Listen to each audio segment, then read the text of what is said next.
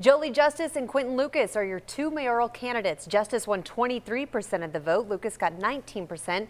So these two will move on to the June general election. All right, let's get back out to Stephen and Kat, who have been following this race all night. Let's begin with Stephen Dial, who joins us from the Jolie Justus Watch Party. I imagine a lot of people happy there, right, Stephen?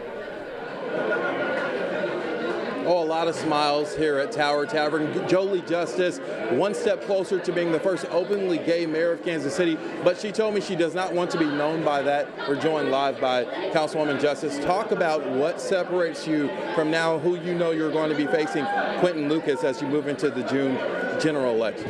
Absolutely. Stephen, you know, one of the things that I think people heard in this election was they, they have a vision for this city. They want to see the, the momentum continuing to move forward, but they also want to have someone who gets things done. And for the last 13 years, I've been a state senator, I've been a city council person. People give me problems, and I solve them. And, and that's what people are looking for right now. Well, thank you so much for joining us live. I know you want to get back to the party. Jolie Justus in that final two that will move on to the June primary really known for spearheading that airport deal that everyone has been talking about, says that the pre-K vote, while it failed, and we'll hear about that later, she says she wants to talk to the stakeholders, if elected, to see how to create pre-K education in Kansas City. For now, reporting live, Stephen Dial, 41 Action News. A happy bunch at Tower Tavern tonight. Stephen, thanks so much. Now let's get to Quinton Lucas and his camp.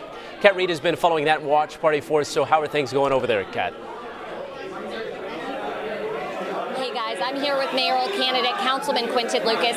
Looking at this race, you know, you were outspent. The few polls we did see weren't exactly promising. What do you think put you over the edge here? You know, I think we always had an outstanding ground game. We knew that this was going to be a campaign that's won on doors knocked, on smaller contributions, and on making sure we're getting our word of bringing the city together out to the full community. I think we did that today. If you look at where I got my votes, it's from throughout all parts of Kansas City, and I'm excited about that. So uh, that was the work, and we've got to do it all over again again. But money doesn't win elections, polls don't win elections, voters do, and hard work does. And I'm proud of what happened today.